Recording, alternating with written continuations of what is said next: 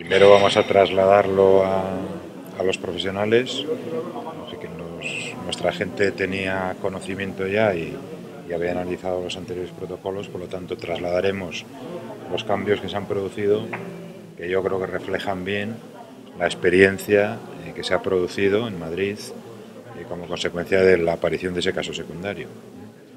Se ha matizado el criterio clínico de la fiebre, no solamente por reducir un poco la temperatura, sino por plantearlo en términos clínicos, es decir, en función de si las personas están tomando alguna medicación o tienen determinadas edades, parece algo razonable y especialmente el seguimiento de los contactos eh, que permitan pues, generar nuevas garantías de protección al conjunto de la población. Son los dos cambios básicos, yo creo que responden a, que hemos podido aprender del caso secundario de Madrid y los trasladaremos y a partir de ahí pues continuaremos reforzando la formación de, los profesionales.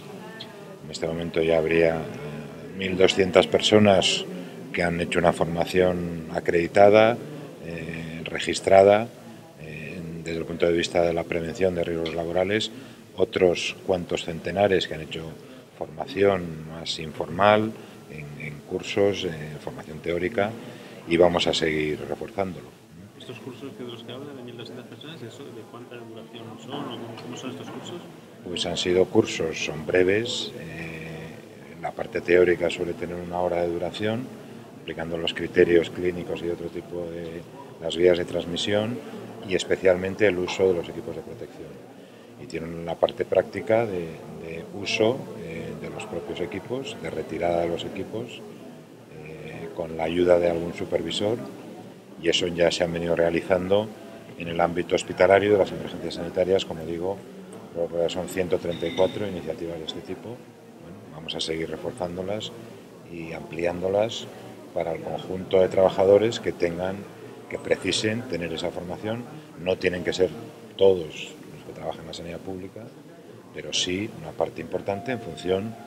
Eh, hemos empezado por los servicios de urgencia hospitalario, por las unidades que se han identificado ya como para la atención de los posibles eh, casos eh, por los servicios de medicina interna, las unidades infecciosas y, y, dentro de ello pues los profesionales médicos, de enfermería, auxiliares y de otras categorías y continuaremos con ello.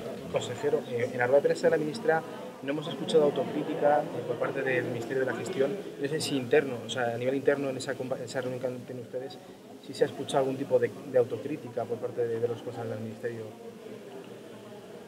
Bueno, es que parece que ustedes quieren hacer un, eh, un azote público. Lo que yo creo que todas las autoridades sanitarias lo que nos estamos planteando es que de, las, de, la aparición de un caso secundario, que es un hecho, es el hecho fundamental, tenemos que aprender algunas cosas. Habrá que ver si han sido eh, si hay que hacer autocrítica, si han sido errores, si han sido fallos, y habrá que ver en qué contexto se plantea. El hecho es que ha aparecido un caso secundario que no debía haber aparecido. Y ahí caben errores humanos, organizativos o de otro tipo. Esto es lo que hay que esperar y determinar, en mi opinión. el, ministerio asume, alguno de todas formas, más allá de, que esté todavía por determinar o concluir. No, el Ministerio tampoco ha participado en la asistencia sanitaria eh, que se ha producido, por lo tanto, no sé exactamente en qué ámbito la asistencia la ha realizado la Comunidad de Madrid, que es quien está fundamentalmente eh, intentando analizar eh, lo que ha ocurrido, los posibles errores o fallos. El Ministerio no ha participado, creo yo, en esa atención. ¿El Ministerio de Madrid ha algún tipo de error? Eh, no sé, yo no, no he podido hablar hoy con él, pero sé que se está investigando. ¿Le han afeado ustedes sus declaraciones, lo que ha dicho los últimos, días? No, eso de afear es muy feo. Yo creo que no han sido afortunadas, no ha tenido su mejor día y las declaraciones pues explican por sí mismas. ¿Les han informado de cómo se ha obtenido el tratamiento SEDMAP y si se ha empezado a utilizar con Teresa Romero? No, no hemos, no hemos llegado a ese detalle. Desconozco si en la Comisión de Salud Pública se ha abordado, pero no, no, hemos, no hemos entrado en ese detalle. Y volviendo a León, ¿quién va a financiar si hay algún coste adicional? ¿Esto se ha hablado de quién les va a financiar? ¿Si les van a hacer algún tipo de inyección financiera adicional? ¿O ¿Lo van a asumir con fondos propios de, de la Bueno, no me importaría, ya que me dado usted ideas.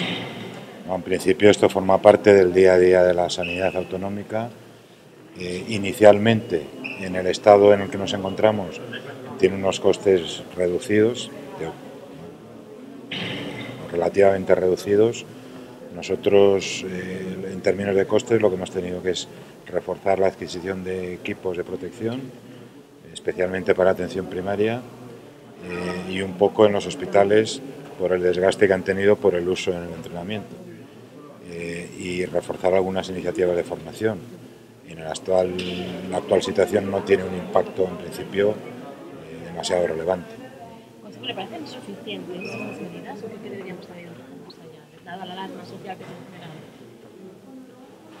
Bien, las, las medidas obedecen al conocimiento de las cosas en cada momento.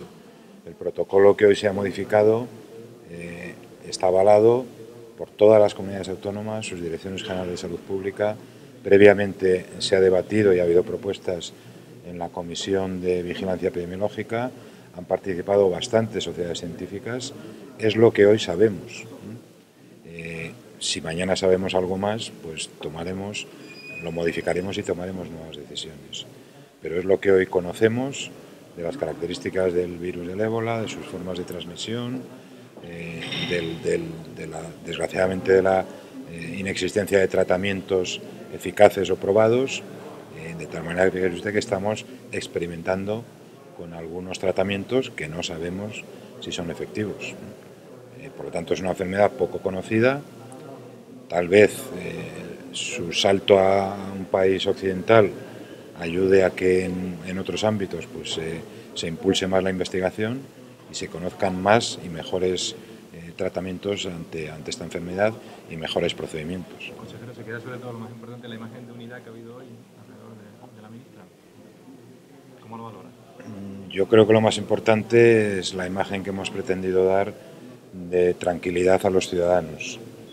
Eh, por razones diversas, eh, la incertidumbre, el miedo, eh, en ocasiones yo diría que casi, casi el pánico en algunos casos concretos y muchas interpretaciones absurdas se, han, se han trasladado al conjunto de la sociedad y a veces a la opinión pública.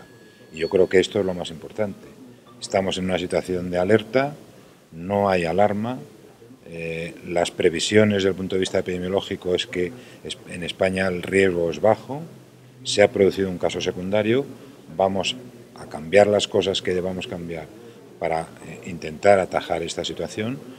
Pero yo creo que hay que salir de esa situación de alarma que, parece que se ha instalado en algunos ámbitos de la sociedad española.